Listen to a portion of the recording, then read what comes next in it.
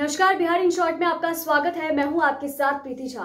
देश भर में रोज़गार मेला के तहत केंद्र सरकार की तरफ़ से हज़ार युवाओं को नियुक्ति पत्र सौंपा गया। इसको लेकर युवाओं के बीच काफ़ी खुशी जो है वो देखने को मिला है और साफ़ तौर से वो प्रधानमंत्री नरेंद्र मोदी का आभार भी व्यक्त किए हैं। कटिहार रेल मंडल की बात करें तो कटिहार रेल मंडल में छह युवाओं को नौकरी दी गई है, नियुक्ति पत्र मिला है और इससे युवा बेहद खुश है। वो साफ़ तौर से कहते हुए नज़र आ रहे हैं कि बेहद दिन से वो इस नियुक्ति पत्र का इंतज़ार कर रहे थे। काफ़ी दिनों से उन्हें भागना दौड़ना पड़ रहा था और अंततः उन्हें आज धनतेरस के दिन पीएम नरेंद्र मोदी की तरफ़ से ये तोहफा जो है वो मिल गया है। क्या कुछ कहते हुए नज़र आ रहे हैं युवा? सुनिए। आज हमारे लिए बहुत बड़ा अवसर है पीएम मोदी सर की तरफ़ से।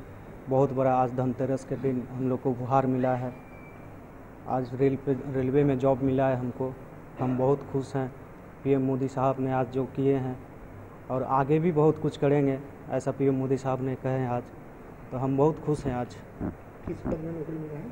हमको मिला एस में सिग्नल डिपार्टमेंट में। अच्छा अब पूरा अच्छा से सेवा देंगे? हाँ हम अब नागरिक को अच्छा से बहुत सेवा देंगे। बड़ा दिन है आज? आज बहुत बड़ा दिन है क्योंकि मुझे आज ज्वाइनिंग लेटर मिला है जो कि मैं इसके लिए बहुत वेट कर रहा था। और इसके लिए मैंने बहुत भागा दौड़ी किया बहुत मतलब कष्ट किया। उसके बाद मुझे ज्वाइनिंग लेटर मिला तो आज मैं बहुत खुश हूँ। और ये बात है कि पीएम मोदी जी ने बहुत मतलब बेरोजगार तरफ़ से मतलब बहुत ये निकाला है मतलब फैसिलिटी और भी निकालेंगे से हम लोग को मीटिंग में बोला गया है।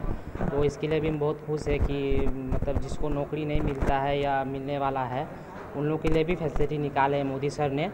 तो इसलिए मुझे मतलब ये सुन के खुशी लगा कि कोई अब बेरोजगार नहीं रहेगा, उनको लिए भी नौकरी मोदी निकाल रहे हैं। क्या नाम है? राज तो आपने सुना कि इस पर युवा जो है वो क्या कुछ कहते हुए नज़र आ रहे हैं, वो साफ़ तौर से बता रहे हैं कि आज धनतेरस का त्योहार है और इस मौके पर उन्हें ज्वाइनिंग लेटर मिला है और उसको लेकर बेहद ही खुश हैं और उन्होंने बताया है कि पीएम नरेंद्र मोदी ने कई सारी चीज़ें जो है वो बताई है कि आगे भी कई सारे रोज़गार जो है वह भी मिलेंगे और उन्होंने पीएम नरेंद्र मोदी का आभार भी व्यक्त किया है। और बता दें इस पर कि कटिहार रेल मंडल के जो डीआरएम है, उनका क्या कुछ कहना है? सुनिए।